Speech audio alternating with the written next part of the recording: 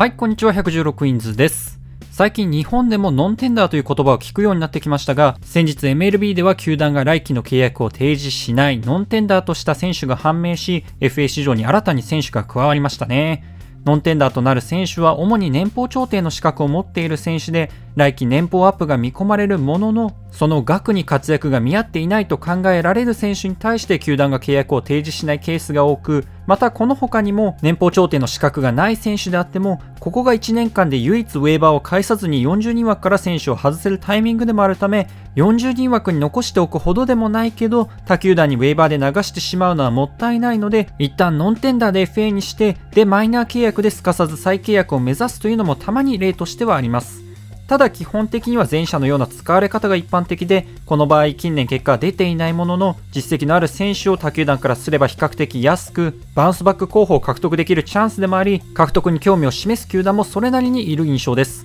今回はそんなノンテンダーとなった注目選手を一緒にチェックしていきましょう。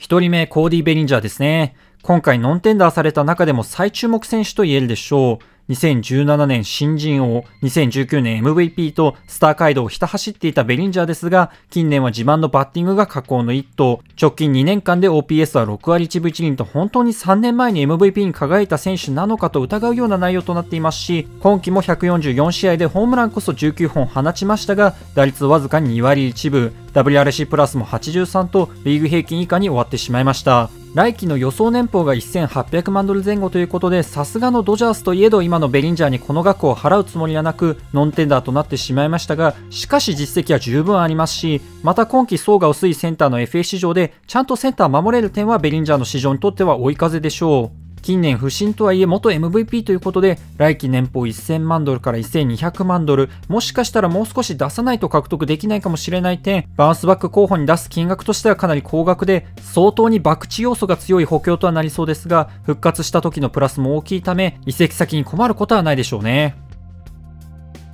2人目はカージナルスからノンテーダーとなったアレックス・レイエス。もともとは超がつくほどの有望株でエース級への成長に期待されていましたが、度重なる怪我でなかなか思うようにプレーができず、ただ昨年2021年は特に前半戦カージナルスの守護神として活躍し、38試合で防御率1.52、20セーブを記録して初めてのオールスターに選出。怪我でだいぶ狂ってしまいましたが、ようやくこれで彼のキャリアも軌道に乗るかと思いきや、後半戦防御率5.52と大きく調子を落とし、そして今年は肩の手術の影響で全休と再び怪我に泣くシーズンとなってしまいました。カージナルスもこのレイエスに関しては相当我慢してきたものの、ついにノンテンダー。怪我の影響で来季開幕に間に合わない可能性が高く、契約するにしてもリスクが高そうですが、投げられさえすればポテンシャルはオールスター級のクローザー、メジャー契約にてチャンスを与えてみるチームは出てくるでしょうか。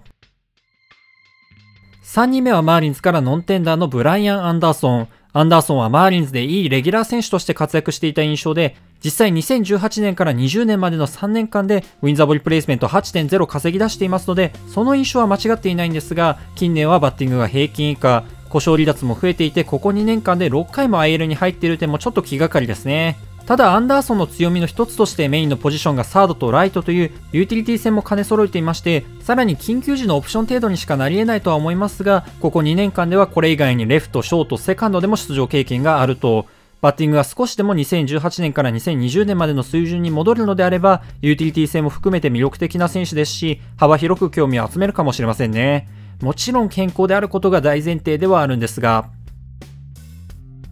4人目はタイガースからノンテンダーとなったジェイマー・カンデラリオ。カンデラリオは短縮シーズンの2020年にブレイクの兆しを見せ、そして昨年2021年は149試合で打率2割7分1厘、WRC プラス120。さらには MLB トップタイとなる2塁打42本を放ち、ウィンザボリプレイスメントも3.8となかなかの活躍だったんですが、今季一気に転落。今季のタイガースはいろんなことがうまくいきませんでしたが、カンデラリオの不振も間違いなく響きましたよね。打球関連の指標は軒並み悪化し、打率も2割1分7厘に終わってしまいました。ただ、ほんの1年前に4近いウィンザブルプレイスメントを稼ぎ出した選手を安く獲得できるチャンスではあります。タイガースの本拠地コメリカパークは打者に厳しい環境でもありましたので、400万ドルくらいの契約で打者有利な環境に移って自信を取り戻せたらなかなか面白い存在になるんじゃないかと期待しています。